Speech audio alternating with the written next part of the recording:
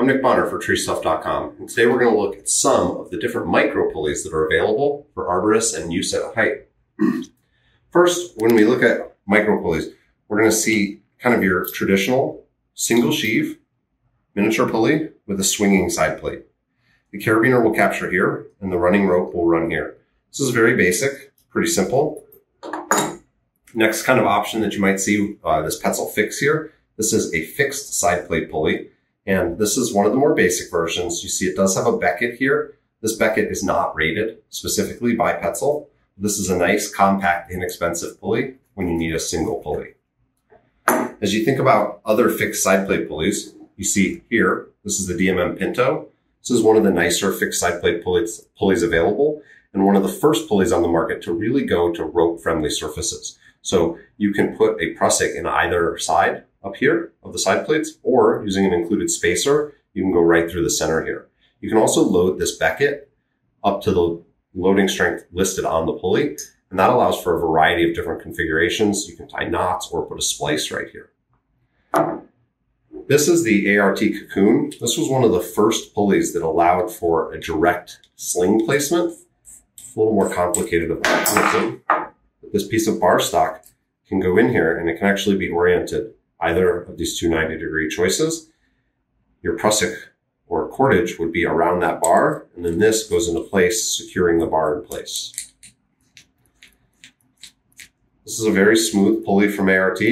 Uh, very, very premium stuff out of ART. We're going to look at some swinging side plate micro pulleys now. So uh, we looked at this very basic one.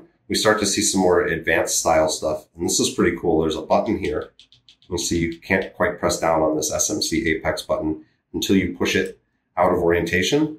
And then it's going to allow this gate to open up. Put your, your rope on there and then just shuts with no, uh, no extractions there. So it's pretty nice from SMC. You also have a nice soft good uh, base installation here. So you can put a small sling or a Dyneema strap is what SMC recommends for use here. Along the same lines, we also have the line of Rock Exotica Omnis. These come in a variety of sizes. This is one of the smallest ones, the 1.1. And these all feature, again, a button. So one action, a second action, and then you have to press the button a third time to get this to open. So these are good for life support or light rigging up to the rated MBS and ABSs. And these also all feature a swivel. So these are really nice if you're using a complex mechanical advantage, complex redirects, building high lines, things like that, where you really want something to swivel and you need midline attachability, these Rock Exotica Omnis are excellent. One of the primary uses for a micro pulley is as a hitch tender. And we saw people starting tending hitches with single sheave, single hole, swinging side plate, and fixed side plate pulleys that we've talked about. Eventually, people started adding a second hole. And we see that here on what is uh, colloquially known as the Mickey Mouse pulley from CMI. You would use this to tend your slack in a DRT system with the climber clipped in here and the dead end of the climbing line clipped in here. And what that does is it prevents the weight of the pulley from falling and bringing your climbing system down. This was incredibly popular uh, during kind of the heyday of DRT.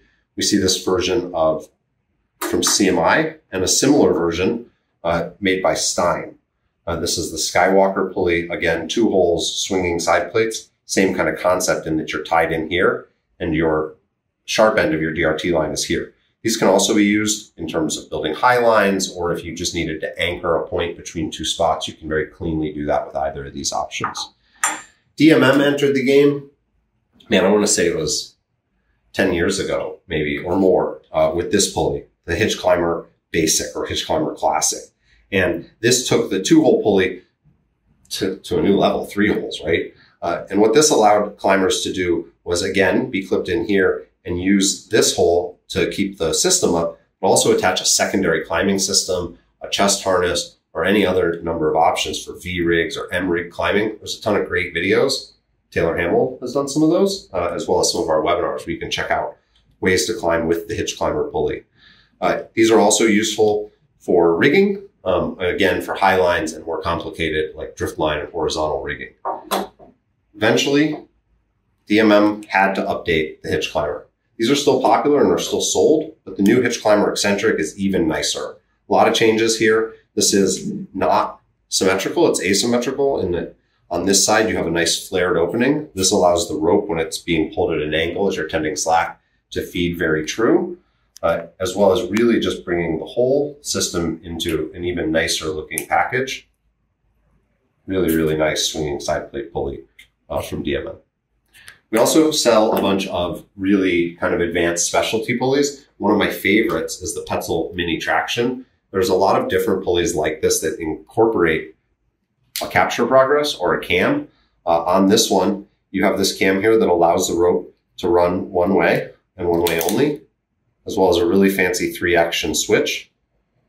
And you can see the instructions here on how to load the rope.